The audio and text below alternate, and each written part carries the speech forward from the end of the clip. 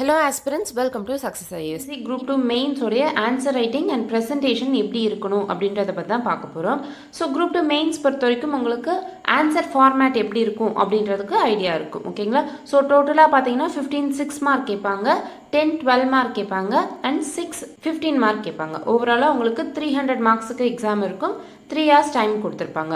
So இந்த டைம்குள்ளே நீங்கள் உங்களுடைய கண்டென்ட்டை எப்படி டெலிவர் பண்ணுறீங்க அண்ட் அதோடைய ப்ரெசன்டேஷன் எப்படி கொடுக்குறீங்க அப்படின்றது ரொம்ப ரொம்ப இம்பார்ட்டண்ட் ஓகேங்களா ஸோ கண்டென்ட்டும் நல்லா இருக்கணும் அதை விட முக்கியம் ப்ரெசன்டேஷனும் நல்லா இருக்கணும். ப்ரெசன்டேஷன் அவ்வளோ இம்பார்ட்டண்ட்டாக கண்டென்ட் மட்டும் நல்லா இருந்தால் போதுமே அப்படின்னு நினச்சிங்க அப்படின்னா இப்போது நீங்கள் ஒருத்தரை பார்க்குறீங்க அப்படின்னா உங்களுக்கு ஃபஸ்ட் இம்ப்ரெஷன் அவங்க எப்படி இருக்காங்க அப்படின்றத ஃபஸ்ட்டு நீங்கள் பார்ப்பீங்க ஓகேங்களா அதுக்கப்புறம் அவங்க கூட பேசும்போது அந் அவங்கள பற்றி தெரிஞ்சுக்கும் போது தான் அவங்களுடைய கேரக்டர் என்ன அவங்க எப்படிப்பட்டவங்க அப்படின்ட்டு நம்ம எவால்வேட் பண்ணுவோம். அதே மாதிரி தான் நம்ம ஆன்சர் ஷீட்டும் ஓகேங்களா ஸோ ஒரு எவால்வேட்டர் நம்மளுடைய பேப்பரை எடுத்து பார்க்குறாங்க அப்படின்னா ஃபர்ஸ்ட் அவங்க கண்ணில் படுறது என்ன அப்படின்னா இதை எப்படி அந்த பேப்பர் வந்து எப்படி ப்ரெசென்ட் பண்ணியிருக்காங்க? Presenting in the sense handwriting ரொம்ப அழகாக இருக்கணும் முத்து முத்தாக இருக்கணும் அப்படின்னு இருக்கு அப்படின்னு கிடையாது. நம்ம எப்படி வந்து அரேஞ்ச் பண்ணியிருக்கோம் நம்ம ஆன்சரை எப்படி அலைன் பண்ணியிருக்கோம் அரேஞ்ச் பண்ணியிருக்கோம் அப்படின்றது தான் ப்ரெசன்டேஷன் அப்படின்னு சொல்லுவாங்க ஓகேங்களா இப்போ ஹேண்ட் ரைட்டிங் சுமாராக இருந்தாலுமே நீங்கள் நீட்டாக ப்ரெசென்ட் பண்ணீங்க அப்படின்னா அந்த பார்க்குறவங்களுக்கு அது என்ன இருக்குது அப்படின்றது கிளியராக புரிஞ்சிச்சு அப்படின்னா அவங்க ஈஸியாக மார்க்ஸ் போட்டுருவாங்க. ஓகேங்களா அதே மாதிரி ப்ரெசன்டேஷன் நீட்டாக இருக்குது அடித்தல் திருத்தல் இல்லாமல் இருந்தாலே வந்து உங்களுக்கு ஓகே உங்களுக்கு கொஞ்சம் நல்லா தெரிஞ்சிருக்கு போல் அப்படின்ற மாதிரி உங்களுக்கு மார்க்ஸ் அதிகமாகிறதுக்கு வாய்ப்பு இருக்குது ஸோ ப்ரெசன்டேஷன் எப்படி இருக்கணும் எப்படி இருக்கக்கூடாது அப்படின்ட்டு சில உங்களுடைய ஆன்சர் ஷீட்ஸ் வச்சே வந்து ஒரு ஃபீட்பேக் மாதிரி நான் சொல்கிறேன் அதை பார்த்துக்கோங்க. ஃபர்தராக உங்களுக்கு அப்கமிங் டெஸ்ட்டில் வந்து இந்த மிஸ்டேக்ஸை அவாய்ட் பண்ணிக்கிறதுக்கு ஹெல்ப்ஃபுல்லாக இருக்கும். ஸோ இப்போது சிக்ஸ் மார்க் எடுத்துக்கிட்டிங்க அப்படின்னா உங்களுக்கு நாட் எக்ஸீடிங் ஃபிஃப்டி வேர்ட்ஸ் கொடுத்துருப்பாங்க. இந்த வேர்ட் லிமிட் வந்து நமக்கு இம்பார்ட்டன்ட் அதுக்காக ஒவ்வொரு டெஸ்ட்டு எழுதும்போது வந்து ஒரு ஒரு கொஷனுக்கும் எவ்வளோ வேர்ட்ஸ் வந்திருக்குன்னு கவுண்ட் பண்ணோம் அப்படின்னா நமக்கு டைம் பத்தாது. சிக்ஸ் மார்க் பொறுத்த வரைக்கும் ஒரு three point five minutes three to three and half மினிட்ஸ்க்குள்ளே நம்ம அந்த ஆன்சரை கம்ப்ளீட் பண்ணோம். அதே மாதிரி எல்லா கொஷின்ஸுமே நம்ம கண்டிப்பாக வந்து கம் ஆன்சர்ஸ் வந்து எழுதி முடித்தாதான் நமக்கு வந்து ஸ்கோர் ஓரளவுக்கு அது நல்ல ஸ்கோர் கிடைக்கும். ஒரு கொஷின் நீங்கள் அட்டன் பண்ணாமல் விடுறீங்க அப்படின்னாலே உங்கள் ரேங்க் வந்து பின்னாடி போகிறதுக்கு நிறைய வாய்ப்பு இருக்குது ஓகேங்களா ஸோ மேக்ஸிமம் ஒரு கொஷனுக்கு பார்த்தீங்க அப்படின்னா சிக்ஸ் மார்க்குக்கு பார்த்தீங்கன்னா ஃபைவ் மார்க் வரைக்கும் போடுறதுக்கு வாய்ப்பு இருக்குது எக்ஸாமில் அதே மாதிரி டுவெல் மார்க் பார்த்தீங்கன்னா மேக்ஸிமம் டென் மார்க் வரைக்கும் கொடுக்க வாய்ப்பு இருக்குது ரொம்ப பெஸ்ட்டாக நீங்கள் ப்ரெசென்ட் பண்ணி கண்டென்ட் வந்து எக்ஸலண்ட்டாக இருக்குது அதே மாதிரி கண்டென்ட் அப்படின்னும் போது நமக்கு வந்து அங்கே கரண்ட் அஃபேர்ஸையும் நீங்கள் நிறைய லிங்க் பண்ணி எழுதுறது. அண்ட் ப்ரெசென்ட் uh, பண்ணும்போது டயக்ராம் அப்படின்றது தேவைப்பட்ட இடத்துல டயக்ராம் கண்டிப்பாக போடுங்க. சயின்ஸுக்கெலாம் டயக்ராம் தேவைப்படும். அதே மாதிரி ஃப்ளோ சார்ட் உங்களுடைய அண்டர்ஸ்டாண்டிங் பேஸ் பண்ணி நீங்கள் ஃப்ளோ சார்ட்லாம் போடலாம். கரெக்டாக தெரியும் அப்படின்னா நீங்கள் போடுங்க. இல்லைனா வந்து பாயிண்ட் பை பாயிண்ட் எழுதுறதே பெஸ்ட்டாக இருக்கும். ஓகேங்களா அதே மாதிரி ஃபிஃப்டீன் மார்க் பார்த்தீங்கன்னா மேக்ஸிமம் வந்து உங்களுக்கு டுவெல் டு தேர்ட்டின் மார்க்ஸ் வரைக்கும் போடுவாங்க. அண்ட் உங்களுக்கு மெயின்ஸ் பொறுத்த வரைக்கும் fifty to sixty percentage mark எடுக்கிறதே பெரிய விஷயம் தான் ஓகேங்களா அவ்வளோ சீக்கிரம் மார்க் போட மாட்டாங்க பட் மார்க் அதிகமாக போடுற அளவுக்கு நம்மளுடைய ப்ரெசன்டேஷனும் கண்டென்ட்டும் இருக்கும் ஸோ அதை பற்றி தான் நம்ம இப்போ பார்க்க போகிறோம் ஓகேங்களா ஸோ சிக்ஸ் மார்க் பொறுத்த வரைக்கும் உங்களுக்கு வந்து ஒரு ஏ ஃபோர் ஷீட்டில் ஒன் பேஜ் அளவுக்கு உங்களுக்கு ஸ்பேஸ் இருக்கும். முக்கால் பேஜ் கூட இருக்கலாம். ஏன்னா சிக்ஸ் மார்க் வந்து இது வரைக்கும் டிஎன்பிசி எக்ஸாமில் கேட்டதில்லை. இப்போ புது பேட்டர்னில் தான் கேட்க போகிறாங்க ஸோ எத்தனை லைன்ஸ் கொடுப்பாங்க அப்படின்றது நமக்கு கரெக்டாக தெரியாது. So around fifteen to twenty lines வரைக்கும் கொடுக்க வாய்ப்பு இருக்குது ஓகேங்களா ஸோ இது வந்து சிக்ஸ் மார்க்ஸுக்கு அதே மாதிரி டுவெல் மார்க்ஸ் பார்த்தீங்க அப்படின்னா உங்களுக்கு வந்து ஒரு ஒன்றரை பேஜ் வந்து ஸ்பேஸ் கொடுக்கறதுக்கு வாய்ப்பு இருக்குது ஓகேங்களா ஸோ இது பார்த்தீங்கன்னா கிட்டத்தட்ட ஒன்றரை பேஜ் மாதிரி இருக்கும். ஸோ இந்த மேலே இருக்கிறதையும் நீங்கள் மைனஸ் பண்ணிட்டீங்கன்னா. அதே மாதிரி ஃபிஃப்டீன் மார்க்ஸ் பார்த்தீங்கன்னா கிட்டத்தட்ட உங்களுக்கு ரெண்டரை பேஜ் அளவுக்கு ஸ்பேஸ் கொடுப்பாங்க ஓகேங்களா ஸோ இந்த ஸ்பேஸ்க்குள்ளே தான் உங்களுடைய ஆன்சர்ஸ் எல்லாத்தையுமே நீங்கள் ஸ்ட்ரக்சர் பண்ணணும். ஸோ சிக்ஸ் மார்க் பொறுத்த வரைக்கும் இம்பார்ட்டன்ட் பாயிண்ட்ஸ் மட்டும் நீங்கள் பாயிண்ட் பை பாயிண்ட் எழுதினா போதும். இல்லைனா அந்த கொஷனில் கேட்டிருக்க சைட் ஹெட்டிங்ஸ் எல்லாமே நீங்கள் போட்டிருக்கீங்களா? இப்போ டிஃபைன் பண்ண சொன்னாங்கன்னா டெஃபினேஷன் அப்படின்னு போட்டு அதோடைய டெஃபினேஷன் கொடுத்துருங்க. ஒரு டூ டு த்ரீ லைன்ஸ் இருந்தால் போதும் ஓகேங்களா பட் அது வந்து ப்ராப்பர் டெஃபினேஷனாக இருக்கணும். அதே மாதிரி அதோடைய அப்ளிகேஷன் கேட்குறாங்க அப்படின்னா அப்ளிகேஷன் ஒரு சைட் ஹெட்டிங் போட்டுட்டு அதுக்கப்புறம் பாயிண்ட் பை பாயிண்ட் அப்ளிகேஷன் எழுதுங்க. ஏன் பாயிண்ட் பை பாயிண்ட் எழுத சொல்கிறேன் அப்படின்னா அவங்களுக்கு அந்த பேப்பர் காமிக்கும் போது உங்களுக்கு அந்த டிஃப்ரென்ஸ் தெரியும். ஓகேங்களா சாம்பிள் பேப்பர்ஸ் காமிக்கிறேன். ஸோ அப்போ வந்து எது பெட்டராக இருக்குது அப்படின்னு நீங்களே ஜட்ஜ் பண்ணுவீங்க. ஸோ இது வந்து ten mark and twelve mark and fifteen marks எப்படி ப்ரெசென்ட் பண்ணும்? உங்களுக்கு வந்து இந்த மாதிரி ஒரு ஆன்சர் ஷீட் ஆல்ரெடி கொஷின்லாம் இருக்க மாதிரி ஆன்சர் ஷீட் எக்ஸாமில் கொடுத்துருவாங்க.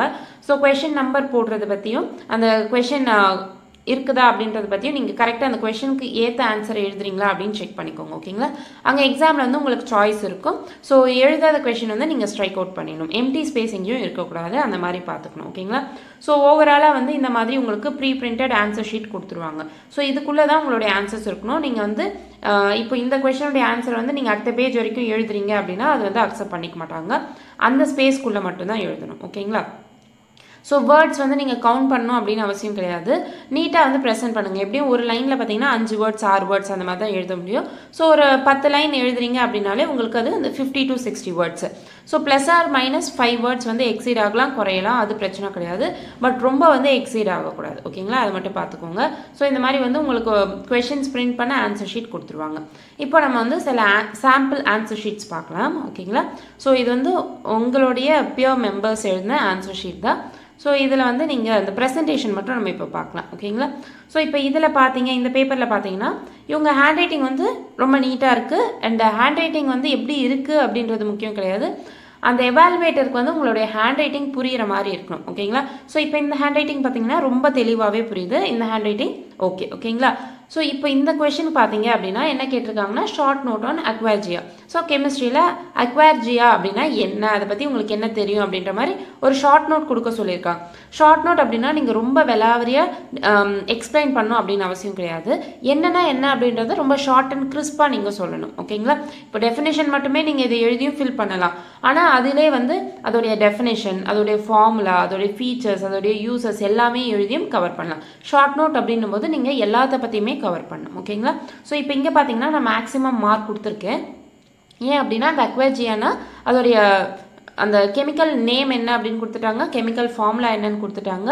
அதோடைய கம்போசிஷன் என்ன ரேஷியோ என்ன அக்வாஜியானா என்ன அதுக்கு இருக்கக்கூடிய அதர் நேம்ஸ் என்ன அதோடைய ஃபீச்சர்ஸ் அந்த ஃபார்முலா என்ன மெல்டிங் பாயிண்ட் பாயிலிங் பாயிண்ட் அப்படின்ட்டு அதோட யூசஸ் ஓகேங்களா இது வந்து நமக்கு புக்கில் இருக்கக்கூடியது ஸோ அதில் இருக்க மாதிரி அப்படியே கொடுத்துருக்காங்க. ஸோ ஷார்ட் நோட் அப்படின்னா அதோடைய இன்ஃபர்மேஷன் எல்லாமே அவனுக்கு வர மாதிரி எழுதணும் ஓகேங்களா ஸோ நெக்ஸ்ட் பாருங்கள் இப்போது இப்போ ஏன் வந்து சல்ஃபியூரிக் ஆசிடை வந்து நம்ம கிங் ஆஃப் கெமிக்கல்ஸ் அப்படின்னு சொல்கிறோம் அப்படின்னா இங்கே வந்து ஏன் சொல்கிறோம் அப்படின்னா அதோட ரீசனை நம்ம ஜஸ்டிஃபை பண்ணணும். ஸோ அந்த ஜஸ்டிஃபை பண்ணுற மாதிரி நம்மளுடைய ஆன்சர் இருக்கணும். இப்போ நமக்கு புக்கில் எடுத்துக்கிட்டிங்க அப்படின்னா அதோடைய இது கொடுத்துருப்பாங்க. ஏன் வந்து sulphuric acid king of chemicals அப்படின்ட்டு. அவங்க பாயிண்ட்ஸ் ஒரு ரெண்டு மூணு பாயிண்ட் கொடுத்துருப்பாங்க. அந்த ரெண்டு மூணு பாயிண்ட் மட்டும் எழுதுனா போதுமான்னு கேட்டால் போதாது. சிக்ஸ் மார்க் அப்படின்னும் போது குறைஞ்சது வந்து ஒரு அஞ்சு ஆறு பாயிண்ட்டாவது இருக்கணும். மேக்ஸிமம் டென் பாயிண்ட்ஸ் வரைக்கும் நீங்கள் எழுதலாம். ஓகேங்களா ஸோ பட் எல்லாமே அதை பற்றி கவர் ஆகிருக்கணும் ஓகேங்களா பாயிண்ட் கவுண்ட் பண்ணுறேன் அப்படின்னு சொல்லிட்டு முக்கியமான இன்ஃபர்மேஷனை விட்டுறக்கூடாது. ஸோ இது வந்து கொஞ்சம் ஜஸ்டிஃபை பண்ணுற மாதிரி இருக்கணும். ஏன் இது அப்படி சொல்கிறோம் அப்படின்னா so it is also called இந்த மாதிரி ஏன் சொல்கிறோம் அப்படின்ட்டு அது ஜஸ்டிஃபை பண்ணுற மாதிரி ரீசன்ஸ் எட்டு லாஸ்ட்டாக ஒரு லைன் வந்து நீங்கள் சொல்லலாம். இதனால தான் வந்து சல்ஃபியூரிக் ஆசிடை நம்ம கிங் ஆஃப் கெமிக்கல் சொல்கிறோம் ஸோ அதே மாதிரி இங்கே பாருங்கள் இவங்களுடைய ப்ரெசன்டேஷனில் இதெல்லாம் வந்து இந்த அண்டர்லைன் பண்ணி காட்டுறது. ஸோ முக்கியமான பாயிண்ட்ஸ் வந்து நீங்கள் அண்டர்லைன் பண்ணி காமிச்சிங்க அப்படின்னா இன்னுமே வந்து ஈஸியாக மார்க்ஸ் போடுவாங்க. பாக்ஸ் போட்டு காமிக்கலாம் அண்டர்லைன் பண்ணி காமிக்கலாம். இந்த மாதிரி அடித்தல் திருத்தல் எல்லாம் பார்த்துக்கோங்க. நீங்கள் அடித்து எழுதுறீங்க அப்படின்னா அந்த எவால்வேட்டருக்கு என்ன ஒரு இம்ப்ரெஷன் வரும் அப்படின்னா நீங்கள் நல்லாவே எழுதியிருந்தாலும் ஓகே இவங்களுக்கே வந்து கொஞ்சம் டவுட் இருக்குது போல். அவங்களுக்கு சரியாக தெரியல அப்படின்னு சொல்லிட்டு மார்க் வந்து கம்மி பண்ணுறதுக்கு வாய்ப்பு இருக்குது ஸோ இதெல்லாம் பார்த்துக்கோங்க. அதுக்கப்புறம் இன்னொன்று என்ன அப்படின்னா வந்து ப்ரெசன்டேஷன் பண்ணும்போது இப்போது இது வந்து இப்படி தான் எழுதணும் அப்படின்றது கிடையாது. இப்படிலாம் எழுதிங்கன்னா இன்னும் கொஞ்சம் பெட்டராக இருக்கும் பெஸ்ட்டாக இருக்கும் அப்படின்றதுக்காக தான் சொல்கிறேன் ஓகேங்களா ஸோ இப்போ இங்கே பாருங்கள் இந்த மாதிரி பாயிண்ட்ஸ்லாம் போட போகிறீங்கன்னு வச்சுக்கோங்களேன். இந்த ஸ்பேஸ் இந்த ஆன்சர் இருக்குது பார்த்தீங்களா இந்த அளவுக்கு. அதாவது ஒரு ரெண்டு விரல் அளவுக்கு ஸ்பேஸ் அப்படின்னு வச்சுக்கோங்களேன். ஸோ ஒரு ஸ்கேலில் பார்த்தீங்கன்னா ஒரு டூ சென்டிமீட்டர் அளவுக்கு ஸ்பேஸ் வந்து இந்த ஓரம் விட்டுட்டு அப்புறம் இங்கே எழுதுங்க. இங்கே வந்து சைட் ஹெடிங் போடுறதுக்கு யூஸ் பண்ணிக்கோங்க. ஸோ தட் உங்களுக்கு சைட் ஹெடிங்லாம் என்னென்ன அப்படின்றது கிளியராக தெரியும். இங்கே வந்து பாயிண்ட்ஸ் போட்டு எழுத ஆரம்பிங்க. இல்லைனா பாயிண்ட்ஸ் வந்து இதுக்குள்ளே அலைன் பண்ணுற மாதிரி பார்த்துக்கோங்க. ஸோ வந்து நீங்கள் என்ன சொல்லியிருக்கீங்கன்றதும் தெளிவாக புரியும். நீங்கள் எவ்வளோ பாயிண்ட்ஸ் கொடுத்துருக்கீங்க. ஏன்னா எவால்வேட்டர் வந்து தேட முடியாது. ஸோ எங்கே வந்து இந்த பாயிண்ட் எழுதிருக்கீங்க எங்கே அந்த பாயிண்ட் எழுதி தேடினீங்கன்னா உங்களுக்கு தலைவலி தான் வரும். மார்க்ஸில் உங்களுக்கு அது வந்து அடி வாங்கும். ஓகேங்களா அதனால் ப்ரெசென்ட் பண்ணும்போது இந்த மாதிரி ஸ்பேஸ் விட்டு எழுதுனீங்க சைட் ஹெடிங்ஸ் நிறைய போட்டிங்க அப்படின்னா இன்னும் கிளியராக ஈஸியாக மார்க் போட்டு போயிட்டே இருப்பாங்க. அது ஒன்று தான் ஸோ இந்த பேப்பர் வந்து கொஞ்சம் நல்லாவே ப்ரெசென்ட் பண்ணியிருக்காங்க. எதையும் வந்து முக்கியமான கீவேர்ட்ஸ் எல்லாம் மிஸ் பண்ணிடாமல் பார்த்துக்கோங்க ஓகேங்களா ஸோ இப்போ இதில் பார்த்தீங்க அப்படின்னா வந்து ஐடென்டிஃபிகேஷன் ஆஃப் சால்ட்ஸ் பார்த்தீங்கன்னா ஒரு நாலு டெஸ்ட் இருக்கும். Physical examination dry heating flame test with HCCL கூடயும் வந்து ஒரு டெஸ்ட் இருக்கும். ஸோ அதை மிஸ் பண்ணியிருக்காங்க. அதனால் வந்து ஒரு ஒன் மார்க் கம்மி பண்ணியிருக்கேன். ஸோ இதில் பார்த்தீங்க அப்படின்னா யூசஸ் ஆஃப் ஆசிட்ஸ் அப்படின்னும் போது புக்கில் கொடுத்துருக்கிறது கம்மியாக இருந்தாலும் அடிஷ்னலாக நீங்கள் நிறைய பாயிண்ட்ஸ் எழுதுங்க.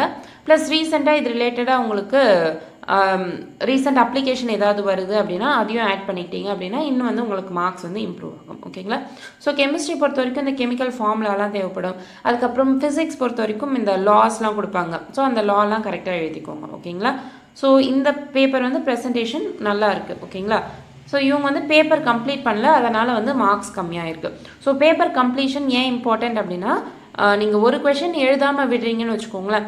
ஸோ எத்தனை கொஷின் எழுதாமல் விடுறீங்களோ ஒவ்வொன்றுத்துக்குமே வந்து மார்க் குறையும் போது ரொம்பவே வந்து உங்கள் ரேங்க் பின்னாடி போயிடும். ஓகேங்களா ஸோ முடிஞ்ச அளவுக்கு பேப்பர் கம்ப்ளீஷன் அப்படின்றது ரொம்ப இம்பார்ட்டன்ட் மெயின்ஸ் பொறுத்த வரைக்கும் நீங்கள் இப்போ இந்த த்ரீ மந்த்ஸ் ப்ரிப்பேர் பண்ணும்போது ஓரளவுக்கு எல்லாத்த பற்றியுமே உங்களுக்கு உங்களுக்கு ஐடியா இருக்கும். ஸோ தெரியாத கொஷின் கூட எப்படி வந்து மேனேஜ் பண்ணி எழுத முடியும் அப்படின்றத நீங்கள் கற்றுக்கணும் ஓகேங்களா ஸோ எல்லாத்த பற்றியுமே கொஞ்சம் கொஞ்சம் தெரியும்.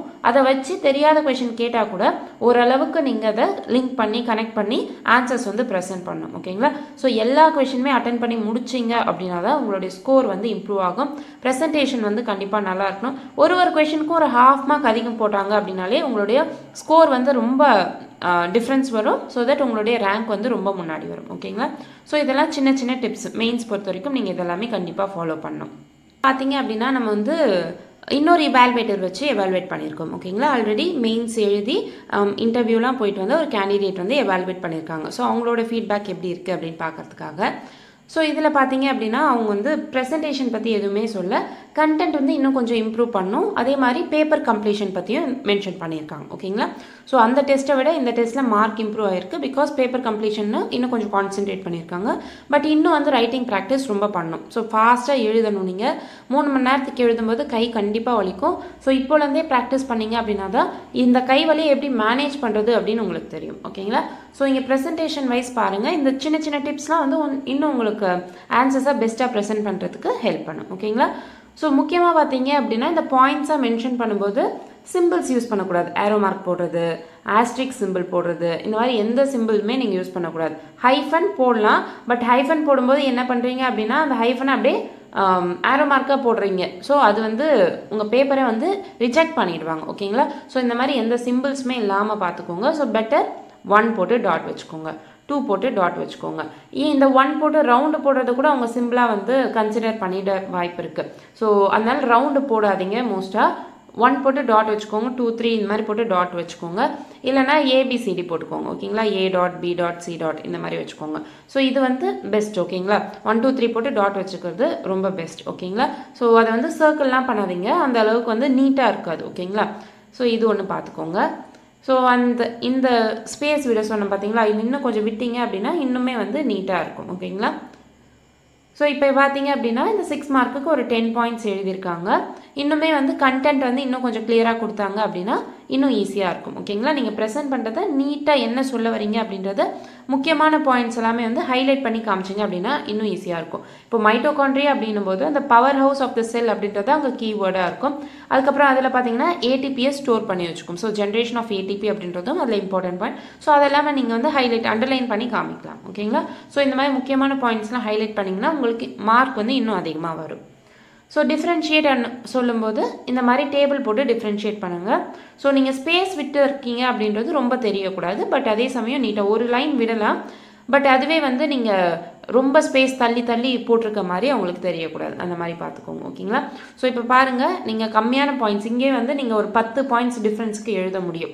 ஆனால் இங்கே பார்த்தீங்க அப்படின்னா ஒரு ஆறு ஏழு பாயிண்ட் தான் எழுதிருக்கீங்க ஸோ அதை மேட்ச் பண்ண தான் இந்த ஸ்பேஸ் விட்ட மாதிரி நல்லாவே தெரியுது. ஸோ அந்த மாதிரி பார்த்துக்கோங்க. ஓகேங்களா? அண்ட் இந்த மாதிரியும் வந்து ஸ்பேஸ் விடாமல் பார்த்துக்கோங்க ஸோ இந்த மாதிரி உங்களுக்கு ரொம்ப கண்டென்ட் தெரியல அப்படின்னா இதோ இங்கே நம்பர்ஸ் போடுறீங்களா அது இன்னும் கொஞ்சம் இங்கே தள்ளி போட்டுக்கோங்க. ஸோ தட் இந்த நேம்ஸ் இங்கே வரும் ஹைஃபன் போட்டு இங்கே மூணு லைனாக இதை மாற்றி எழுதும்போது உங்களுக்கு இந்த ஸ்பேஸை வந்து மேனேஜ் பண்ண முடியும். ஸோ இதெல்லாமே சின்ன சின்ன ட்ரிக்ஸு நீங்கள் எழுதும்போது உங்களுக்கே வந்து ஐடியா வரும். ஸோ இந்த மாதிரி ஸ்பேஸ்லாம் விடாமல் பார்த்துக்கோங்க கொடுத்துருக்க ஸ்பேஸை வந்து கரெக்டாக யூஸ் பண்ணிக்கோங்க. ஸோ அடுத்து பாருங்கள் இதெல்லாம் பார்த்தீங்கன்னா இந்த மாதிரி நீங்கள் அந்த பாயிண்ட்ஸ் எழுதும்போது எல்லாமே ஒரே லைனில் எழுதும்போது இன்னும் ரொம்ப அழகாகவே தெரியும். ஓகேங்களா? ஸோ ஈஸியாக வந்து ஓகே அப்படின்னு மார்க் போட்டு போயிடுவாங்க. ரொம்ப வந்து நோண்டிகிட்டு இருக்க மாட்டாங்க. பட் நீங்கள் மொத்தமாக பேராகிராஃபாக ஏன் எழுத வேணாம் அப்படின்னு சொல்கிறேன்னா பேராகிராஃபாக எழுதும்போது இந்த பாயிண்ட்ஸ் எல்லாம் நீங்கள் தேடணும். எங்கே வந்து இந்த பாயிண்ட் எழுதியிருக்காங்க அப்படின்னு கீவேர்ட்ஸ் எல்லாமே தேடுவாங்க. ஸோ அந்த மாதிரி தேடும்போது இரிட்டேட் ஆகி மார்க்ஸ் வந்து கம்மியாகும். அதனால் இந்த மாதிரி ப்ரெசென்ட் பண்ணீங்க அப்படின்னா நல்லாயிருக்கும் ஓகேங்களா ஸோ ஆன்சர்ஸ் வந்து எதுவுமே விடலை அப்படின்னா இவங்களுடைய ப்ரெசன்டேஷனுக்கும் கண்டென்ட்டுக்கும் இன்னும் நிறையவே வந்து மார்க்ஸ் கிடைக்கும் ஓகேங்களா ஸோ இந்த மாதிரி இப்போது ஃபீச்சர்ஸ் கேட்குறாங்க அப்படின்னா அந்த ஃபீச்சர்ஸ் பற்றி ஒரு நாலு பாயிண்ட்ஸு அதோட எக்கனாமிக் இம்பார்ட்டன்ஸ் கேட்குறாங்கன்னா அந்த எக்கனாமிக் இம்பார்ட்டன்ஸ்க்கும் இம்பார்ட்டன்ஸ் கொடுத்து ஒரு நாலஞ்சு பாயிண்ட் கொடுத்தீங்க அப்படின்னா நல்ல மார்க்ஸ் வரும். ஓகேங்களா ஸோ இதுலேயும் பார்த்தீங்க அப்படின்னா ஃபுட் இண்டஸ்ட்ரியில் என்ன மாதிரி ஆல்கேலாம் யூஸ் பண்ணுறாங்க அப்படின்ட்டு அது கொஞ்சம் எக்ஸாம்பிள்லாம் கொடுக்கலாம். அதே மாதிரி அக்ரிகல்ச்சரில் என்ன ஆல்கே யூஸ் பண்ணுறாங்க அந்த ஆல்கேயோட நேம் எக்ஸாம்பிள்லாம் கொடுத்தீங்க அப்படின்னா இன்னுமே வந்து மார்க் இன்க்ரீஸ் ஆகும். ஓகேங்களா அடுத்து பாருங்கள் ஓகே ஓரளவுக்கு உங்களுடைய ப்ரெசன்டேஷன் நல்லாவே இருக்குது இந்த மாதிரி டயக்ராம் தேவைப்படுற இடத்துல டயக்ராம் போடலாம். பட் டயக்ராம் போட்டு டைம் வேஸ்ட் பண்ணிடாமல் பார்த்துக்கோங்க இந்த மாதிரி ரொம்ப ப்ரிசைஸாக டயக்ராம் வரையணும் அப்படின்னு அவசியம் இல்லை. ஓரளவுக்கு நீங்கள் ப்ரெசென்ட் பண்ணுறது அவங்களுக்கு எவால்வேட்டருக்கு அண்டர்ஸ்டாண்ட் ஆகணும். ஓகே உங்களுக்கு அண்டர்ஸ்டாண்ட் ஆயிருக்கு அப்படின்றது அவங்களுக்கு அண்டர்ஸ்டாண்ட் ஆகிற மாதிரி பார்த்துக்கிட்டிங்கன்னா போதும். அதே மாதிரி இந்த மாதிரி டயக்ராம் போடும்போது இந்த ஃப்ளோ சார்ட்லாம் போடும்போது அதில் மிஸ்டேக் இல்லாமல் பார்த்துக்கோங்க ஏன்னா இந்த மாதிரி ஃப்ளோ சார்ட்லாம் போடும்போது ஈஸியாக அவங்களுக்கு தெரியும். நீங்கள் என்ன சொல்ல வரீங்க அப்படின்றது தெரியும். ஸோ அந்த இடத்துல மிஸ்டேக் ஆச்சு அப்படின்னா மார்க்ஸ் வந்து குறையும். ஓகேங்களா ஸோ அதெல்லாம் பார்த்துக்கோங்க ஸோ சயின்ஸ் பொறுத்த வரைக்கும் டயக்ராம் தேவைப்படுற இடத்துல டயக்ராம் போடலாம். அதே மாதிரி பார்த்தீங்களா இந்த மாதிரி அடித்து எழுதும்போது ஓகே அவங்களுக்கே ஏதோ கன்ஃபியூஷன் இருக்குது என்ன பண்ணியிருக்காங்க அப்படின்ட்டு பார்ப்பாங்க. ஓகேங்களா அது மாதிரி நோண்டி பார்க்கும்போதும் ஏதோ மிஸ்டேக் பண்ணியிருந்தீங்கன்னா மார்க்ஸ் வந்து ஈஸியாக குறைஞ்சிரும். ஸோ இதெல்லாம் பார்த்துக்கோங்க. ஸோ என்ன கேட்டிருக்காங்களோ அதை வந்து நீங்கள் கரெக்டாக ஆன்சர் பண்ணியிருக்கீங்களா அப்படின்னு பார்த்துக்கோங்க. இப்போது இந்த மாதிரி விட்டமின் டெஃபிஷியன்சி அப்படின்லாம் கேட்கும்போது கரெக்டாக வந்து அந்த டெஃபிஷியன்சி டிசீசஸ் தான் கேட்டிருக்காங்கன்னா டெஃபிஷியன்சி விட்டமினோ அதோடைய டெஃபிஷியன்சி டிசீஸ் மட்டும் எழுதுங்க. அடிஷ்னலாக சோர்சஸ்ஸு அதுக்கப்புறம் அதுக்கு வேறு என்ன நேம்ஸ் இதெல்லாம் வந்து தேவையில்லாதது ஓகேங்களா? விட்டமின் டெஃபிஷியன்சி டிசீஸ் பற்றி எழுத சொல்கிறாங்க அப்படின்னா என்னென்ன விட்டமின் இருக்குது அதோடைய டெஃபிஷியன்சியான என்னென்ன டிசீஸ் வரும் அதை மட்டும் எழுதினா போதும். அந்த டிசீஸோட சிம்டம்ஸு அதுக்கப்புறம் அந்த விட்டமின் எந்தெந்த ஃபுட்லலாம் அதோடைய சோர்ஸ் இருக்குது அப்படின்னு புக்கில் கொடுத்துருப்பாங்க. ஆனால் கொஷனில் என்ன கேட்டிருக்காங்களோ அதுக்கு மட்டும் ஆன்சர் பண்ணால் போதும். ஏன்னா கீயும் பார்த்தீங்கன்னா அந்த கொஷனுக்கு ஏற்ற மாதிரி தான் கீ கொடுத்துருப்பாங்க. ஓகேங்களா இதெல்லாம் பார்த்துக்கோங்க. அதுக்கப்புறம் இந்த கரண்ட் அஃபேர்ஸ் லிங்க் பண்ணி இப்போ இந்த வேக்சின்லாம் பார்த்தீங்கன்னா உங்களுக்கு போத் ஸ்டாட்டிக் ஏரியா புக்கில் வேக்சின்னா என்ன அப்படின்றத பற்றி படிச்சுட்டு அதே மாதிரி இப்போ ரீசெண்டாக என்னென்ன வேக்சின்லாம் வந்திருக்கு இல்லை இந்தியாவுடைய வேக்சின் பாலிசி என்ன அப்படின்னா கரண்ட் அஃபேர்ஸ் நீங்கள் வந்து இன்க்ளூட் பண்ணும் ஸோ கரண்ட் அஃபேர்ஸ் இன்க்ளூட் பண்ணீங்க அப்படின்னா உங்களுடைய ஸ்கோரும் வந்து ரொம்ப இம்ப்ரூவ் ஆகும். ஓகேங்களா ஸோ இதெல்லாம் வந்து சின்ன சின்ன ஃபேக்ட்ஸு இப்போ இன்னொரு கேண்டிடேட் பேப்பர் பார்க்கலாம். இவங்களுடைய ப்ரெசன்டேஷன் பார்த்தீங்கன்னா ரொம்பவே நீட்டாக இருக்குது ஹேண்ட் ரைட்டிங் வந்து புரிஞ்சுக்கிற மாதிரி நல்லாயிருக்கு ஸோ இந்த மாதிரி தான் ஸ்பேஸ் விட சொல்லியிருக்கேன். ஓகேங்களா ஸோ இந்த மாதிரி ஸ்பேஸ் கொடுத்து எழுதுனீங்க அப்படின்னா வந்து இன்னும் நல்லாயிருக்கும் பட் உங்களுடைய கண்டென்ட் வந்து மிஸ் பண்ணிடாமல் பார்த்துக்கோங்க. ஓகேங்களா ஸோ ப்ரெசன்டேஷன் வைஸ் இவங்களது கரெக்டாக இருக்குது. அண்ட் ஜஸ்டிஃபிகேஷன் uh, கேட்குற இடத்துல ஜஸ்டிஃபிகேஷனுக்கான பாயிண்ட்ஸும் வந்து நீங்கள் ஆட் பண்ணணும். ஸோ ஓகே பேப்பர் வந்து ஓவரால் கரெக்ட் தான். இவங்க ஒன்று என்ன பண்ணியிருப்பாங்க அப்படின்னா வந்து கன்க்ளூஷன் கன்க்ளூஷன் அப்படின்ட்டு நிறைய இடத்துல மென்ஷன் பண்ணியிருப்பாங்க. ஸோ கன்க்ளூஷன் வந்து நீங்கள் டுவெல் மார்க் அண்ட் ஃபிஃப்டீன் மார்க்குக்கு இன்ட்ரடக்ஷன் கன்க்ளூஷன் அப்படின்ற மாதிரி கொடுக்கலாம். பட் அது வந்து நீங்கள் மென்ஷன் பண்ணணும் அப்படின்னு அவசியம் இல்லை. இன்ட்ரடக்ஷனுக்கு அந்த ஸ்டார்டிங்கில் ஒரு டூ த்ரூ த்ரீ லைன்ஸ் என்னென்னா என்ன அப்படின்னு சொல்லிட்டு கன்க்ளூஷனுக்கு ஒரு ஃபியூச்சரிஸ்டிக்காக ஒரு வே ஃபார்வர்டாக இன்னும் இப்படிலாம் பண்ணால் நல்லாயிருக்கும். மோஸ்ட்டாக வந்து ஏதாவது ஸ்கீம் பற்றி கேட்குறாங்க அப்படின்னு வச்சுக்கோங்களேன். ஸோ எங்கெங்கெல்லாம் வந்து கன்க்ளூஷன் வந்து கொஞ்சம் உங்களுடைய பாயிண்ட்ஸையும் சேர்த்து ஒரு பாசிட்டிவ் நோட் மாதிரி கொடுக்க முடியுமோ அந்த இடத்துல நீங்கள் கொடுக்கலாம். பட் இன்ட்ரடக்ஷன் கன்க்ளூஷன் அப்படின்ட்டு மென்ஷன் பண்ணணும்னு அவசியம் இல்லை. பட் நிறைய சைட் ஹெட்டிங்ஸ் கொடுங்க ஓகேங்களா ஸோ இந்த மாதிரி டெஃபினிஷன் அதுக்கப்புறம் அதோடைய ஃபீச்சர்ஸ் இந்த மாதிரி சைட் ஹெட்டிங் கொடுத்தீங்க அப்படின்னா அவங்களுக்கு மார்க் போடுறவங்களுக்கும் வந்து ஈஸியாக இருக்கும் ஓகேங்களா ஸோ இந்த மாதிரி சின்ன சின்ன விஷயம் பார்த்துக்கிட்டிங்க அப்படின்னா வந்து உங்களுக்கு மார்க்ஸ் வந்து நிறையவே கிடைக்கும். ஸோ இது வந்து ஃபிஃப்டீன் மார்க்ஸ் ப்ரெசன்டேஷன் வந்து இந்த மாதிரி பண்ணலாம். ஸோ இந்த மாதிரி ஒன் டூ த்ரீ போடுங்க. இல்லைனா இந்த மாதிரி ரோமன் நம்பர்ஸும் போடுங்க. பட் சிம்பிள்ஸ் uh, வந்து எக்காரணத்துக்கு ஒன்றும் யூஸ் பண்ணிடாதீங்க. ஓகேங்களா ஸோ இந்த மாதிரி கன்க்ளூஷன் கொடுக்கலாம். பட் அதுக்கேற்ற மாதிரி கொஷின் இருக்கா அப்படின்ட்டு பார்த்துக்கோங்க. ஓகேங்களா அதே மாதிரி இன்ட்ரடக்ஷன் கொடுத்துருந்தீங்கன்னா கன்க்ளூஷன் கொடுங்க. கன்க்ளூஷன் மட்டும் மென்ஷன் பண்ணும் அப்படின்ட்டு அவசியம் கிடையாது. நெக்ஸ்ட்டு சேம் கேண்டிடேட்டோட பேப்பரை இன்னொரு இவால்வேட்டர் இவால்வேட் பண்ணும்போது இதோடைய ஃபீட்பேக் எப்படி இருக்குது அப்படின்னு பார்க்கலாம். ஸோ இங்கே பாருங்கள் அவங்க என்ன சொல்லியிருக்காங்க அப்படின்னா பாயிண்ட்ஸ் வந்து ப்ரிசைஸ் பாயிண்ட்ஸ் போடணும். அதே மாதிரி ஓரியன்டேஷனை பார்த்துக்க சொல்லியிருக்காங்க.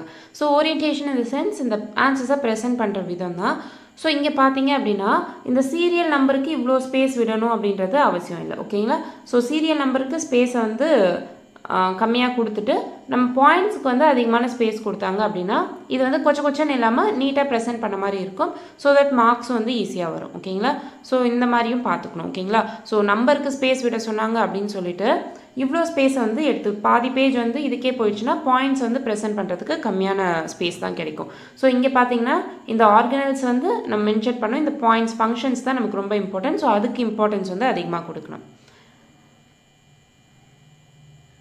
ஸோ எதுக்கு வந்து ஸ்பேஸ் நம்ம கம்மியாக கொடுக்கணுமோ அதுக்கு ஸ்பேஸ் கம்மியாக கொடுத்துட்டு இம்பார்ட்டன்ட் பாயிண்ட்ஸ்க்கு நம்ம அதிக இம்பார்ட்டன்ஸ் கொடுக்கணும். ஏன்னா அங்கெல்லாம் வந்து மார்க் வரும். ஓகேங்களா ஸோ இந்த கன்க்ளூஷன் அப்படின்றது பார்த்தீங்கன்னா சிக்ஸ் மார்க்குக்கு கொடுக்கவே தேவையில்லை. இந்த கன்க்ளூஷன் வேர்டை மென்ஷன் பண்ணணும்னு அவசியமே கிடையாது. ஸோ அதை வந்து அவங்க பார்த்துக்கணும் ஸோ இது எல்லாமே எக்ஸாம்பிள் எதுக்கு அப்படின்னா வந்து இதே மாதிரி நீங்களும் எழுத வாய்ப்பு இருக்குது ஸோ அப்போ நீங்கள் வந்து இதெல்லாமே மேனேஜ் பண்ணணும். அதுக்காக தான். ஓகேங்களா? இப்போ ஓவராலாக எல்லாரோட பேப்பர் பற்றியும் வந்து பார்த்துடலாம் ஓகேங்களா? ஸோ கொஞ்சம் பேப்பர் தான் நான் எடுத்து வச்சுருக்கேன். ஸோ இவங்க பார்த்தீங்க அப்படின்னா கண்டென்ட் வெயிட்ஸ் நல்லா கொடுத்துருக்காங்க. ப்ரெசன்டேஷனும் நல்லாயிருக்கு இன்னும் கொஞ்சம் வந்து இந்த அலைன்மெண்ட்லாம் கரெக்டாக போடுறாங்க அப்படின்னா இன்னுமே பேப்பர் வந்து நீட்டாக இருக்கும். ஓகேங்களா ஸோ இப்போ இந்த பாயிண்ட்ஸ் போடுறது எல்லாமே ஒரே லைனுக்குள்ளே வந்துச்சு அப்படின்னா பேப்பர் பார்க்க வந்து ரொம்ப நீட்டாக தெரியும். ஓகேங்களா ஸோ இவங்க பேப்பர் பொறுத்த வரைக்கும் கண்டென்ட் குட் ப்ரெசன்டேஷனும் குட் பட் அந்த அலைன்மெண்ட் வந்து இன்னும் கொஞ்சம் பண்ணாங்க அப்படின்னா இன்னும் வந்து நீட்டாக இருக்கும் பேப்பர் ஓகேங்களா ஸோ இம்பார்ட்டன்ட் பாயிண்ட்ஸ் மிஸ் பண்ணாதீங்க. கீவேர்ட்ஸ் வந்து நமக்கு ரொம்ப இம்பார்ட்டன்ட் நம்ம அண்டர்லைன் பண்ணி காமிச்சிங்க அப்படின்னா உங்களுடைய பாயிண்ட்ஸ் வந்து இன்னும் கரெக்டாக தெரியும் ஓகேங்களா so next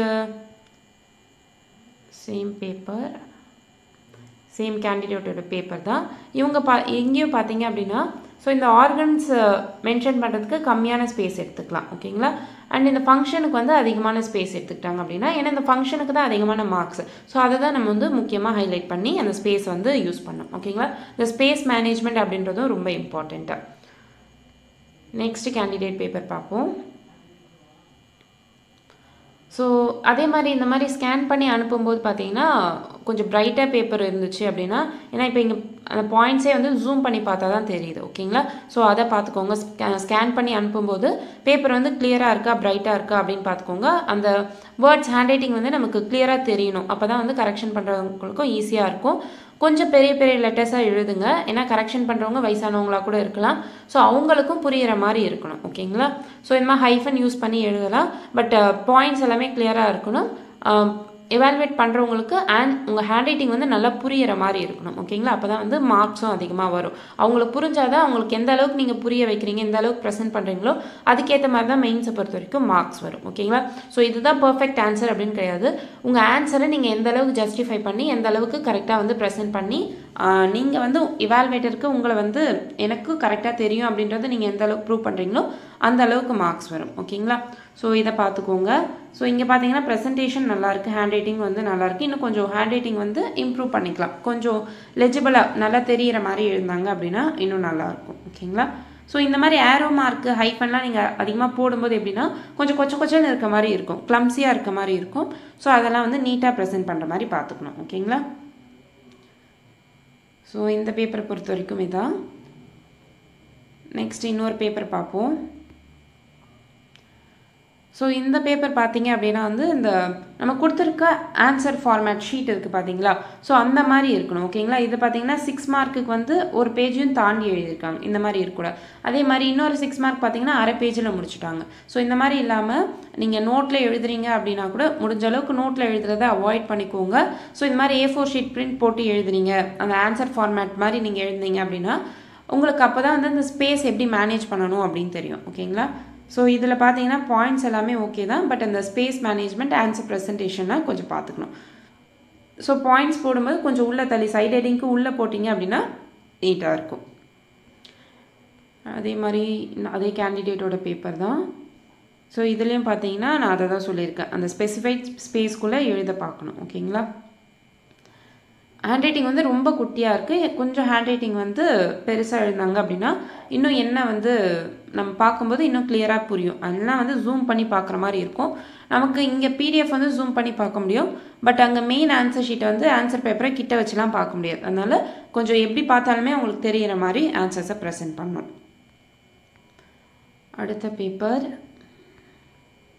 ஓகே இவங்க ஹேண்ட் ரைட்டிங் பார்த்தீங்கன்னா நல்லா குண்டு குண்டாக அழகாக இருக்குது ப்ரெசன்டேஷனும் வந்து கொஞ்சம் ஹேண்ட் ரைட்டிங் நல்லாயிருக்கு ப்ரெசன்டேஷன் வந்து பண் நல்லா பண்ணாங்க அப்படின்னா இன்னுமே நிறைய மார்க்ஸ் வரும். ஓகேங்களா? ஸோ இந்த மாதிரி இந்த பாயிண்ட்ஸ் போடுறது வந்து இந்த மாதிரி இருந்துச்சுன்னா நமக்கு பார்க்கும்போது அழகாக தெரியுது பாருங்கள் ஸோ இதுதான் வந்து இம்பார்ட்டண்ட் ஓகேங்களா? ஸோ ரொம்ப இங்கே ஆரம்பித்து இந்த மார்ஜின் ஆரம்பித்து இந்த மார்ஜின் வரைக்கும் எழுதுனீங்க அப்படின்னா உள்ளே என்ன எழுதிருக்கீங்க அப்படின்றது புரியாது. அதனால தான் பாயிண்ட் பை பாயிண்ட் எழுத சொல்கிறது ஸோ இதில் வந்து கரெக்டாக ப்ரெசென்ட் பண்ணியிருக்காங்க. ஸோ இந்த பார்த்தீங்களா ஒரே லைனில் போடும்போது உங்களுக்கே தெரியும் பேப்பர் எவ்வளோ நீட்டாக இருக்குது அப்படின்ற மாதிரி. ஓகேங்களா ஸோ இந்த மாதிரி டேபிளர் காலம்லாம் போடும்போது ஈஸியாக வந்து நீங்கள் ஓகே இந்த இண்டிகேட்டர் யூஸ் பண்ணும்போது கலர் இது மாறுது அப்படின்னு ஈஸியாக பார்த்துடுவாங்க ஓகேங்களா ஸோ இந்த மாதிரி மார்க்ஸ் ஈஸியாக வாங்குறதுக்கு இது ஈஸியாக இருக்கும். ஓகேங்களா ஸோ இந்த பேப்பரில் பார்த்தீங்க அப்படின்னா இந்த மாதிரி ப்ரெசென்ட் பண்ணியிருக்காங்க. இந்த மாதிரி நீங்கள் ஃப்ளோ சார்ட் டயக்ராம்லாம் போடலாம். பட் என்ன ஒன்றுனா ஸ்பேஸை வந்து எஃபிஷியண்ட்டாக யூஸ் பண்ணும். இப்போ இங்கே பார்த்தீங்க அப்படின்னா இவ்வளோ ஸ்பேஸ் அதாவது பாதி பேஜ் பார்த்தீங்க அப்படின்னா உங்களுக்கு பிளாங்காக போகிற மாதிரி இருக்குது ஸோ அந்த மாதிரி இல்லாமல் நீங்கள் இங்கேருந்து பாயிண்ட் போட்டு இந்த மாதிரி அந்த அந்த செல் ஆர்கனைஸ் போட்டுட்டு அதோடைய ஃபங்க்ஷன்ஸ் எழுந்தீங்க அப்படின்னா இன்னுமே கிளியராக இருக்கும். ஓகேங்களா ஸோ இதுதான் அந்த அலைன்மெண்ட் பற்றி நாங்கள் பார்க்க வேண்டியது. ஸோ எல்லாமே ஒரே மாதிரி இருந்துச்சு அப்படின்னா அந்த பாயிண்ட் போடுறது கேப் விட்டுறது எல்லாமே ஒரே மாதிரி இருந்துச்சுன்னா நீட்டாக இருக்கும். அதே மாதிரி அந்த ப்ரிஸ்கிரைப்டிவ் ஃபார்மேட்டில் எழுதும்போது உங்களுக்கு அளவு வந்து கரெக்டாக தெரியும். ஸோ இங்கேயும் பார்த்தீங்கன்னா அதான் பண்ணியிருக்காங்க. ஒரு முக்கால் பேஜ் வந்து ஒரு கொஷனுக்கு எடுத்துக்கிட்டு அடுத்த கொஷனுக்கு பார்த்தீங்கன்னா ஒரு கால் பேஜுக்கும் கம்மியாக இருக்க மாதிரி இருக்குது ஸோ இந்த மாதிரி இருக்கக்கூடாது. எல்லாமே ஒரே ஃபார்மேட்டில் இருக்கணும். அதுக்கு தான் வந்து கொடுத்துருக்க பேப்பரில் நீங்கள் எழுதி பழகுங்க அப்படின்னு சொல்கிறேன் ஓகேங்களா ஸோ அதே கேண்டிடேட்டோட பேப்பர் ஸோ அந்த பேப்பர் வந்து இந்த மாதிரி அடித்தல் திருத்தல் இல்லாமல் நீட்டாக ப்ரெசென்ட் பண்ணும். ஸோ இங்கேயும் பார்த்தீங்கன்னா இந்த ஹேண்ட் ரைட்டிங் வந்து ஜூம் பண்ணி பார்த்தா தான் வந்து என்ன எழுதியிருக்குங்க அப்படின்னு புரியுது. ஸோ ஹேண்ட் ரைட்டிங் வந்து கொஞ்சம் சி- ரொம்ப குட்டி குட்டியாக எழுதுறவங்க கொஞ்சம் பெருசு பண்ணி எழுதி பாருங்கள் த்ரீ மந்த்ஸ் டைம் இருக்குது நீங்கள் நல்லாவே ப்ராக்டிஸ் பண்ணலாம். ஓகேங்களா ப்ரெசன்டேஷனுக்கு அடுத்து தான் வந்து உங்களுடைய கண்டென்ட் எப்படி இருக்குது அப்படின்னு பார்ப்பாங்க. ஸோ ப்ரெசன்டேஷன் ரொம்ப இம்பார்ட்டண்ட் ஆள் பாதி ஆடை பாதி அப்படின்ற மாதிரி தான் ஃபஸ்ட்டு வந்து உங்களுடைய ட்ரெஸ்ஸு பார்த்து தான் நீங்கள் எப்படி அப்படின்ட்டு ரிச்சா போகிற அப்படின்ற மாதிரி டிசிஷனுக்கு வருவாங்க. அப்புறமா தான் உங்களை பற்றி தெரிஞ்சுப்பாங்க. அதே மாதிரி தான் பேப்பரில் உங்களுடைய ப்ரெசன்டேஷன் எப்படி இருக்குன்னு பார்த்து தான் அதுக்கப்புறம் கண்டென்ட் எப்படி இருக்குன்னு பார்ப்பாங்க. ஓகேங்களா ஸோ இந்த பேப்பரில் பார்த்தீங்க அப்படின்னாலும் வந்து ஸ்பேஸ் யூஸ் பண்ணுறது தான் கொஞ்சம் ப்ராப்ளமாக இருக்குது ஓகேங்களா ஸோ இங்கே பார்த்தீங்கன்னா இது வரைக்குமே கோடு போட்டு இந்த ஃபங்க்ஷன்ஸை நல்லா எழுந்தாங்க அப்படின்னா மார்க் வந்து அதிகமாக வரும். ஏன்னா அந்த ஃபங்க்ஷன்ஸ் பற்றி தான் கேட்டிருக்காங்க ஸோ அதான் இம்பார்ட்டன்ட் ஓகேங்களா ஸோ அதே மாதிரி ரொம்ப பாயிண்ட்ஸ் வந்து கம்மியாக இருக்குது அஞ்சு பாயிண்ட் ஆக்சுவலாக இங்கே பார்த்தீங்கன்னா நீங்கள் பத்து பாயிண்ட் கூட எழுத முடியும். பட் இந்த ரெண்டு லைன் மூணு லைன்லாம் விட்டு எழுதக்கூடாது ஓகேங்களா ஸோ அப்போ வந்து உங்களுக்கு பாயிண்ட்ஸ் தெரியல அது மேனேஜ் பண்ணுறதுக்காக தான் இந்த மாதிரி எழுதியிருக்கீங்க அப்படின்றது தெரியுது. ஸோ அதே மாதிரி இப்போ இது வந்து நல்லா ப்ரெசென்ட் பண்ணியிருக்காங்க. ஃபஸ்ட்டு கேன்சர்னால் என்ன அப்படின்னு கொடுத்துருக்காங்க. அதை டைப்ஸ் கேட்கும்போது அது அழகாக வந்து ஒரு ஃப்ளோ சார்ட் மாதிரி போட்டு எழுதியிருக்காங்க. பட் கண்டென்ட் வந்து கம்மியாக இருக்குது ஸோ அதனால மார்க் கம்மியாக இருக்குது ப்ரெசன்டேஷன் வைஸ் ஓகே தான். ஓகேங்களா ஸோ இது மாதிரி ப்ரெசென்ட் பண்ணலாம் நீங்கள் நெக்ஸ்ட்டு வந்து இன்னொரு கேண்டிடேட்டோட பேப்பர் ஸோ இதுலேயும் பார்த்தீங்க அப்படின்னா இந்த மாதிரி ஹைலைட் பண்ணி பாயிண்ட்ஸ் வந்து அண்டர்லைன் பண்ணி காமிக்கிறது ரொம்ப நல்லது. ஓகேங்களா ஸோ இந்த த்ரீ டு ஒன் ரேஷியோ அதுக்கப்புறம் ஹைட்ரோக்ளோரிக் ஆசிட் நைட்ரிக் ஆசிட் இதெல்லாம் இம்பார்ட்டன்ட் பாயிண்ட்ஸு ஸோ இந்த மாதிரி வந்து ஹைலைட் பண்ணி காமிக்கிறது குட் ஓகேங்களா பட் இன்னும் கொஞ்சம் சைட் ஹெடிங் இந்த யூசஸ்லாம் வந்து சைட் ஹெடிங் போட்டு எழுந்தாங்க அப்படின்னா இன்னும் பெட்டராக இருக்கும். So presentation wise okay next பார்ப்போம். ஸோ இதில் பார்த்தீங்க அப்படின்னா இவங்களுடைய ப்ரெசன்டேஷனும் நல்லாயிருக்கு ஹேண்ட் ரைட்டிங் இன்னும் கொஞ்சம் பெருசாக எழுந்தாங்கன்னா இன்னும் ஈஸியாக இருக்கும் படிக்கிறவங்களுக்கு. ஸோ இந்த மாதிரி ஸ்பேஸ் இல்லாமல் பார்த்துக்கோங்க இது பார்த்தீங்க அப்படின்னா இந்த ஸ்பேஸ் வந்து கொஞ்சம் மேனேஜ் பண்ணிக்கணும் ஓகேங்களா? ஸோ இங்கே என்ன கேட்டிருக்காங்களோ அதுக்கு ஆன்சர் பண்ணுற மாதிரி கூட அந்த ஒரு லைனை நீங்கள் யூஸ் பண்ணிக்கலாம். இதனால தான் சல்ஃபியூரிக் ஆசிடை நம்ம கிங் ஆஃப் கெமிக்கல் சொல்கிறோம் அப்படின்ற மாதிரி இங்கே ஒரு பாயிண்ட் போட்டிங்க அப்படின்னா ஃபுல் மார்க்ஸே கிடைக்கும் ஓகேங்களா? ஸோ அதே மாதிரி இங்கே பாருங்கள் எக்ஸ்ட்ரா இன்னும் ஒரு ரெண்டு பாயிண்ட் ஆட் பண்ணலாம். இல்லைனா டேபிளர் காலம் மாதிரி போட்டு காமிக்கலாம். ஓகே ஓவரால் இவங்களுடைய ப்ரெசன்டேஷன் ஸோ இப்படி தான் வந்து ப்ரெசென்ட் பண்ண சொல்கிறேன் ஸோ சைட் ஹெட்டிங்லாம் கொடுத்துட்டு உள்ள அந்த பாயிண்ட்ஸ் எல்லாம் ஒரே நேர்கோட்டில் வர மாதிரி போட்டிங்க அப்படின்னா பார்க்கறதுக்கு நீட்டாக இருக்கும். மார்க்ஸும் ஈஸியாக ஸ்கோர் பண்ணலாம். ஓகேங்களா ஸோ அதே மாதிரி இந்த கெமிக்கல் நேம்ஸ்லாம் கொடுத்தீங்க அப்படின்னா இன்னுமே வந்து ஸ்கோர் இம்ப்ரூவ் ஆகும். ஓகேங்களா ஸோ இவங்களுடைய ப்ரெசன்டேஷனும் ஓகே நெக்ஸ்ட் பேப்பர் ஸோ இதுலேயும் பார்த்தீங்கன்னா ப்ரெசன்டேஷன் நல்லாயிருக்கு பட் இந்த மாதிரி அடிச்சல் திருத்தல் இல்லாமல் பார்த்துக்கோங்க ஏன்னா பார்க்கும்போதே வந்து ஒரு நீட்னஸ் கம்மியாகிடுது பார்த்தீங்களா ஸோ அந்த மாதிரி இல்லாமல் பார்த்துக்கணும் ஓகேங்களா? So presentation wise okay but இந்த ஸ்ட்ரைக்கிங் அவுட் வந்து கம்மி பண்ணணும். ஹேண்ட் ரைட்டிங் ஓகே ஓகேங்களா? இன்னும் கொஞ்சம் வந்து அழகாக ப்ரெசென்ட் பண்ணலாம். அடுத்த பேப்பர் ஸோ இந்த பேப்பர்லாம் பார்த்தீங்கன்னா ப்ரெசன்டேஷன் ஹேண்ட் ரைட்டிங் நல்லாயிருக்கு ஓவரால் ஓகே தான். ஓகேங்களா இன்னும் பார்க்கும்போது நீட்டாக இருக்க மாதிரி ப்ரெசென்ட் பண்ணும். நெக்ஸ்ட்டு வந்து இந்த பேப்பரில் ரொம்ப ஸ்பேஸ் விட்டுருக்கிறது நல்லாவே தெரியுது இந்த பேப்பரில் பாருங்கள் பார்க்கும்போது எல்லா இடத்துலையும் வந்து நிறைய ஸ்பேஸ் இருக்கிறது தெரியும் ஸோ இந்த மாதிரி ஸ்பேஸ் வந்து அதிகமாக விடாதீங்க. முடிஞ்ச அளவுக்கு கண்டென்ட் பாயிண்ட்ஸ் வந்து கொடுங்க ஓகேங்களா ஒரு சிக்ஸ் மார்க் பொறுத்த வரைக்கும் குறைஞ்சது அஞ்சுலேருந்து ஒரு பத்து பாயிண்ட் வரைக்கும் நீங்கள் எழுதலாம் ஓகேங்களா பாயிண்ட்ஸ் பொறுத்து தான் வந்து உங்களுக்கு மார்க்ஸ் இருக்கும். ஸோ ஸ்பேஸ் எல்லாம் அதிகமாக விடுறதை கம்மி பண்ணிட்டு பாயிண்ட்ஸ் வந்து அதிகமாக கொடுத்தீங்க அப்படின்னா மார்க் வந்து இம்ப்ரூவ் ஆகும். இந்த பேப்பரில் இதே மாதிரி தான் இப்போ பாருங்கள் இங்கே இவ்வளோ வந்து நெருக்கி நெருக்கி எழுதாமல் அழகாக இந்த இடத்துல ஸ்பேஸ் கோடு போட்டிருந்தாங்க அப்படின்னா இன்னும் கொஞ்சம் ஃப்ரீயாகவே இதெல்லாமே ப்ரெசென்ட் பண்ணலாம். ஸோ பார்க்குறவங்களுக்கு ரொம்ப ஈஸியாக இருக்கும். மார்க் போடுறதுக்கும் ஓகே இந்தந்த பாயிண்ட்ஸ்லாம் இருக்கா? ஓகே மார்க் அப்படின்னு போட்டு போயிடுவாங்க. ஓகேங்களா ஸோ இதெல்லாமே பார்த்துக்கோங்க. சின்ன சின்ன விஷயம் பார்த்துக்கோங்க. ஓகேங்களா ஸோ இங்கே பாருங்கள் இவ்வளோ உள்ளே போகணும் அப்படின்னு அவசியம் இல்லை. அழகாக இவ போட்டு நீங்கள் அழகாக எழுதிடலாம். ஸோ இந்த மாதிரி சின்ன சின்ன விஷயம் பார்த்துக்கோங்க. ஓகேங்களா ஸோ ஹேண்ட் ரைட்டிங் ப்ரெசன்டேஷன் நல்லாயிருக்கு பாயிண்ட்ஸ்லாம் கான்சென்ட்ரேட் பண்ணாங்கன்னா இவங்க பேப்பருக்கும் நல்ல மார்க் வரும். ஸோ ஓவராலாக இந்த மாதிரி தான் பேப்பர் கரெக்ஷன் அப்படின்றது உங்களுக்கு எக்ஸாமில் இருக்கும். ஓகேங்களா ஸோ இந்த மாதிரி ப்ரெசென்ட் பண்ணிங்கன்னா உங்களுக்கு பாயிண்ட்ஸ் வந்து மார்க்ஸ் வந்து அதிகமாக வரும். ஓகேங்களா ஸோ எல்லாம் சின்ன சின்ன விஷயம். இதெல்லாம் பார்த்துக்கோங்க. அதே மாதிரி இந்த மாதிரி பாக்ஸ்லாம் போட்டு காமிச்சிங்க அப்படின்னா இன்னும் ஈஸியாகவே மார்க் போடுவாங்க. ஓகேங்களா எவால்வேட்டருக்கு பெஸ்ட்டாக உங்கள் பேப்பரை நீங்கள் ப்ரெசென்ட் பண்ணணும். அதுதான் இம்பார்ட்டன்ட் ஓகேங்களா ஸோ ஓரளவுக்கு எப்படி எழுதணும் அப்படின்ற மாதிரி பார்த்துட்டோம். ஸோ அப்கமிங் டெஸ்ட்டில் வந்து இந்த ப்ரெசன்டேஷன் இதெல்லாம் கொஞ்சம் பார்த்து எழுந்தீங்க அப்படின்னா மார்க்ஸ் வந்து அதிகமாக ஸ்கோர் பண்ண முடியும். ஓகேங்களா ஸோ ஏதாவது டவுட்ஸ் இருந்தால் கேளுங்க. Wish you all success in life thank you